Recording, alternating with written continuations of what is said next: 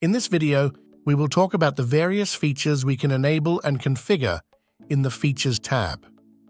Today, we will begin with the Eco Green driving feature, which allows us to detect harsh acceleration, braking, and cornering events.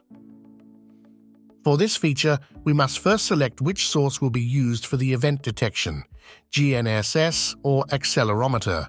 By default, the source is selected as GNSS. Still, we highly recommend always using the accelerometer source as it provides much more accurate results due to it being in the vehicle and not relying on satellite data to detect these events, as well as the higher data acquisition rate, which reaches 100 times per second using the accelerometer source. In contrast, the GNSS source only updates only once every second. After the source is selected, we should configure the thresholds for the harsh event detection. A really popular question from our clients is, what values should I set for accurate harsh event detection? The answer is always along the lines of, it depends on your use case, as harsh event detection is subjective. For some, harsh braking should only be detected when the tires are squealing and you barely come to a stop with a few centimeters to the vehicle in front, while for others, harsh braking is when the comfort of the passengers inside of a car is affected. Because of this, our recommendation is to do a practical test and see if the configuration set matches the expectations and detects the harsh driving events correctly. To simplify the configuration procedure, we have also introduced a new tool for the Eco Green driving feature.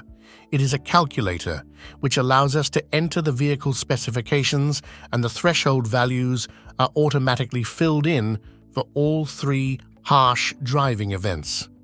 Additionally, if we use an accelerometer as a green driving source, we can also enable advanced eco driving features, which allows us to get information about the eco green driving duration, average, and maximum forces, which could be used to understand how the driver operates the vehicle.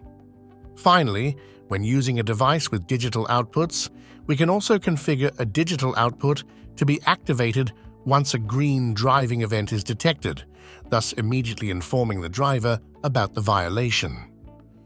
This allows us to train the driver how to drive more economically and without causing unnecessary wear on the vehicle. The second feature we will discuss today is overspeeding detection, which allows us to generate an event and inform the driver when the speed detected by the device is higher than set here.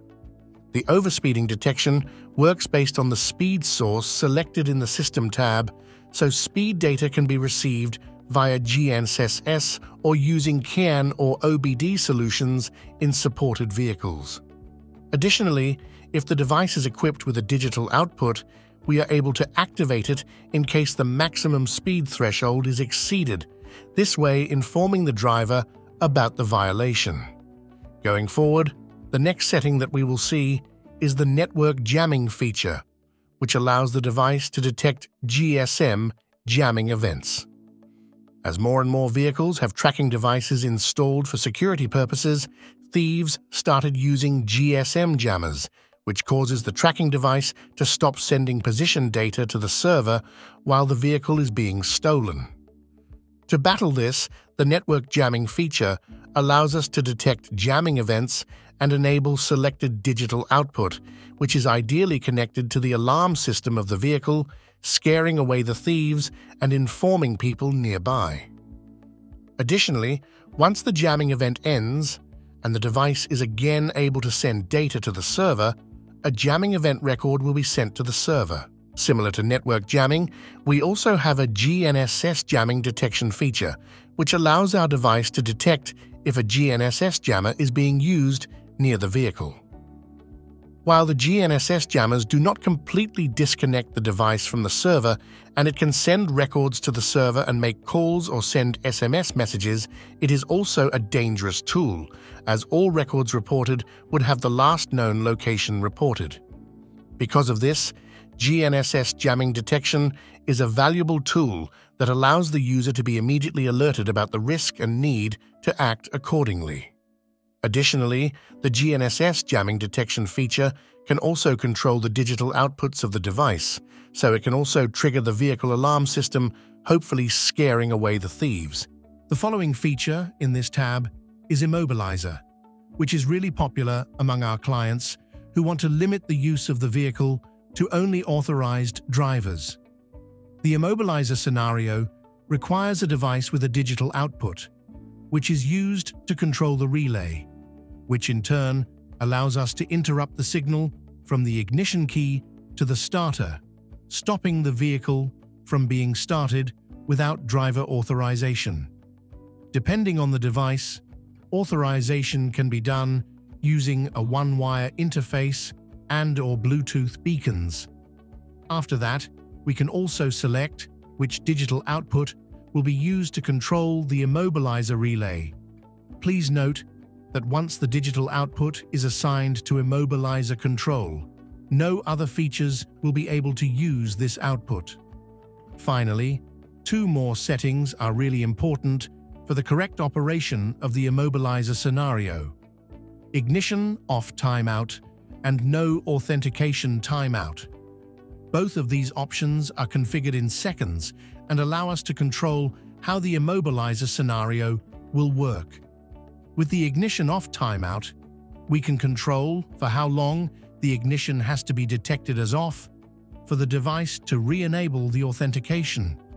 This is especially useful if the driver has to do a lot of short stops, as then the driver does not have to reauthorize themselves every time they start the engine. Also, in case the vehicle stalls at a red light, this allows the driver to quickly start the engine. The no authentication timeout by default is set to 0 seconds, meaning that it is disabled. In case it is needed, the timeout can be set, which determines how long the device will wait for the authorization before disabling the immobilizer scenario altogether. This means that if we set 60 seconds for the no authentication timeout, after the ignition is detected for one minute without no authentication attempts, the immobilizer scenario will be disabled and the driver will be able to start the vehicle. The final feature we will talk about today is the SECO functionality, which stands for Secure Engine Cut Off.